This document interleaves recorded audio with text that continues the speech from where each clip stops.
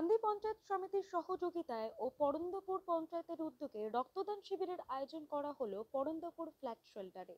কান্দি মহকুমার হাসপাতালে রক্তের ঘাটতি মেটাতে এই রক্তদান শিবিরের আয়োজন।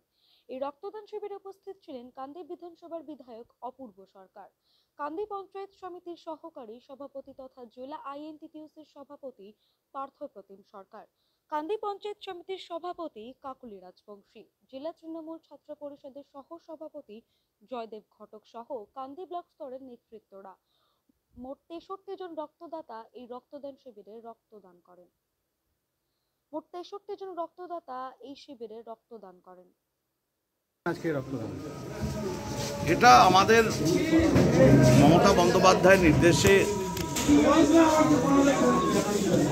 গোটা রাজ্যের মতন আমাদের কাঁদিতে কাঁদি বিধানসভা ক্ষেত্রে, পৌরসভা এবং পঞ্চায়েত, আমরা গোটা বছরভর লাগাতার আমাদের রক্তদানের কর্মসূচি থাকে।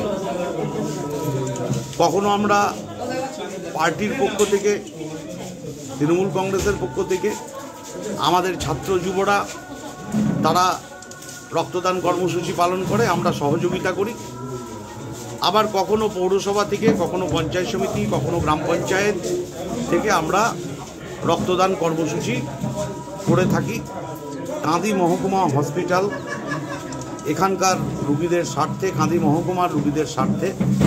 ধারাবাহিকভাবে যে আমরা গোটা বছরভর আমরা ক্যালেন্ডারও প্রকাশ করি।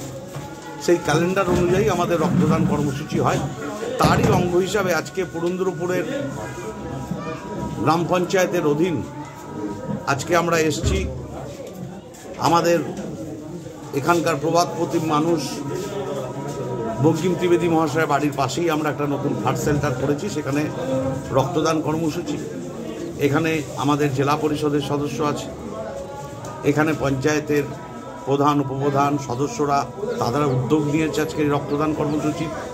এখানকার তৃণমূল নেতৃত্ব, ছাত্র, যুব সবাই মিলে যৌথভাবে আমাদের পঞ্চায়েত সমিতির সব সভানেত্রী সহসভাপতি কর্মাধ্যক্ষ সবাইকে নিয়েই প্রত্যেক গ্রাম থেকে আমাদের তৃণমূলের কর্মীরা ছাত্র যুবরা এমনকি মহিলারা তারাও কিন্তু এই রক্তদান কর্মসূচিতে সংগঠিতভাবে তাদেরকে আনা হয়েছে যাতে রক্তদান কর্মসূচি সফল করা হয়। এভাবেই আমরা মানুষের পাশে থাকি মানুষের সাথে থাকি মমতা বন্দ্যোপাধ্যায়ের নির্দেশে কতজন রক্তদাতা রক্তদান করেছেন? তেষট্টি জন হলো আমরা বলেছি বন্ধ করে দিতে ব্লাড ব্যাংকের সঙ্গে কথা বলে আমাদেরকে ব্লাড পঁয়ষট্টি, তেষট্টি ক্যাপাসিটি সব ক্যাপাসিটি অত থাকে না।